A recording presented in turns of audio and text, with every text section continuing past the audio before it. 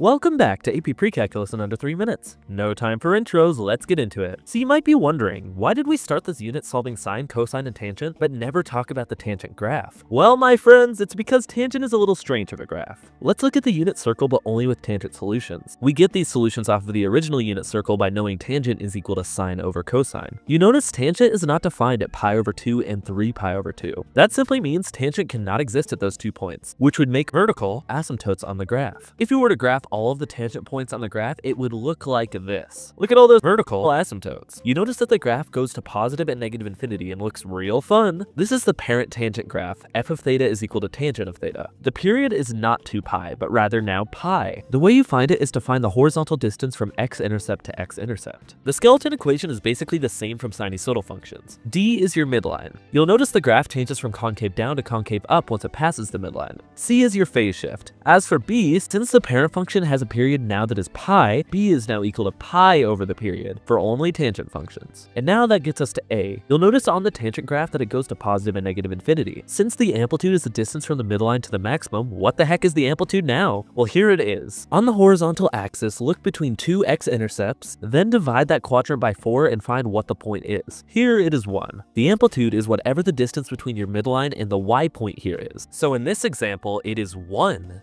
I hope that makes sense. Look from x-intercept to x-intercept, divide by 4, then find the y-coordinate of that point. Find the distance between the midline and that y point, and that's your amplitude. And though I of course have no knowledge on what might be on your exam this year, when I took the AP Pre-Calculus exam, there was not a single question on the tangent graph. So you know, it might not be that important to know. On the screen now are some AP-style questions for this topic. Pause now. I'll put the answers on the screen now.